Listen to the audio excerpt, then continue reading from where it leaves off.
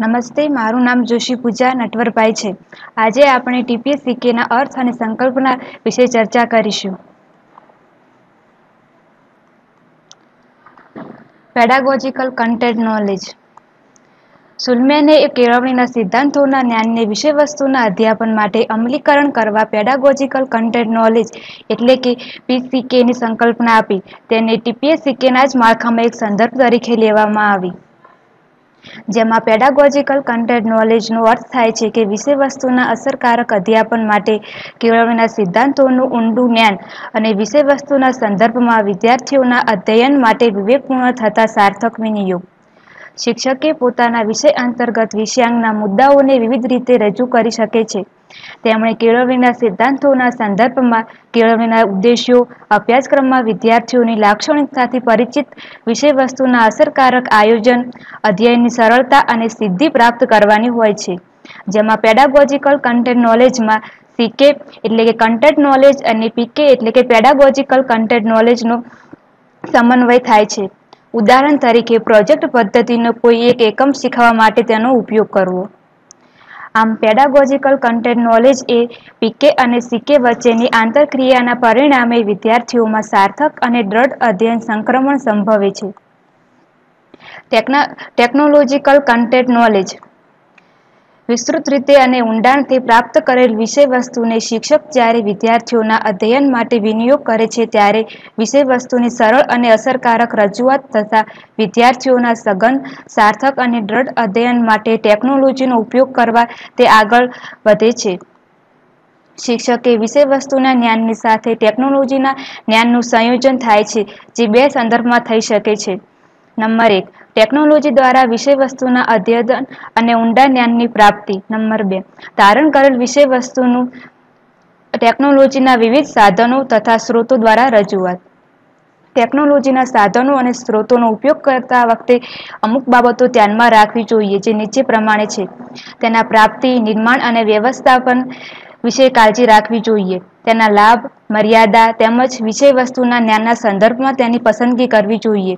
તેનો બિનજરૂરી ઉપયોગ ન થાય તે બાબતનું પણ ધ્યાન રાખવું જોઈએ. ટેકનોલોજીનો ઉપયોગ માત્ર ઔપચારિક બની ન રહે તેની પણ કાળજી રાખવી જોઈએ. ટેકનોલોજીના જ્ઞાન દ્વારા વિષયવસ્તુના જ્ઞાનની સમૃદ્ધિ તથા વિષયવસ્તુના જ્ઞાન માટે ટેકનોલોજીનો સાર્થક ઉપયોગ થાય તે ટીસીકે છે. ઉદાહરણ તરીકે animation, video technological pedagogical knowledge શિક્ષકે પ્રાપ્ત કરેલ ટેકનોલોજીના જ્ઞાન અને કેળવણીના સિદ્ધાંતોનું સંકલન જરૂરી બની રહે છે. ટેકનોલોજી દ્વારા પ્રાપ્ત કરેલ માહિતીમાંથી જરૂરી માહિતીને વિદ્યાર્થીના સંદર્ભમાં પ્રયોજવા માટે કેળવણીના સિદ્ધાંતો પથદર્શન બને છે. વિદ્યાર્થીઓની પૃષ્ઠભૂમિ, સ્તર, રસ, રુચિ, અભિયોગ્યતા, વલણ, અભિપ્રેરણાના આધારે શિક્ષકે ટેકનોલોજીના સાધનો અને સ્ત્રોતોની પસંદગી અને ઉપયોગ કરે છે. વિવિધ અભિગમો, પદ્ધતિઓ, પ્રયુક્તિઓ, સિદ્ધાંતો, અધ્યાપનના મોડેલો અભ્યાસક્રમમાં સંદર્ભમાં ટેકનોલોજીનું વિવિધપૂર્ણ સંક્રમણ થાય છે. ઉદાહરણ તરીકે સીએઆઈ સીએમએલ બ્લેન્ડેડ લર્નિંગ. ટેકનોલોજીના વિનિયોગ દ્વારા અધ્યાપન અધ્યયન પ્રક્રિયા જીવંત, સરળ, સાર્થક અને ગતિશીલ બને છે. આ રીતે પેડાગોજિકલ નોલેજ અને ટેકનોલોજીકલના સંયોજનને ટેકનોલોજીકલ અને પેડાગોજીકલ નોલેજ કહે છે. ટીપીએ સિક્કે શિક્ષક માટે technological knowledge TK pedagogical knowledge એટલે કે પીકે અને કન્ટેન્ટ નોલેજ એટલે કે સિક્કે જરૂરી બને છે. શિક્ષક જ્યારે પોતાના શિક્ષણ કાર્યમાં ટેકનોલોજી વિશે વસ્તુ અને પદ્ધતિશાસ્ત્રના જ્ઞાનનો ઉપયોગ કરી પોતાનું અધ્યાપન કાર્ય કરે, ત્યારે તેને ટીપીએસ સિક્કે તરીકે ઓળખવામાં આવે છે. ટેકનોલોજી સાથે સંકલિત અધ્યયન અનુભવ. અધ્યયન અનુભવ એટલે શિક્ષક વિદ્યાર્થીને શીખવા માટે વર્ગખંડ કે વર્ગખંડ બહાર જે કાર્યો, પ્રવૃત્તિઓ કરાવે છે તેને અધ્યયન અનુભવ કહે છે. ઉદાહરણ તરીકે પ્રાયોગિક કાર્યો, સ્વાધ્યાય, સેમિનાર, વર્કશોપ વગેરે.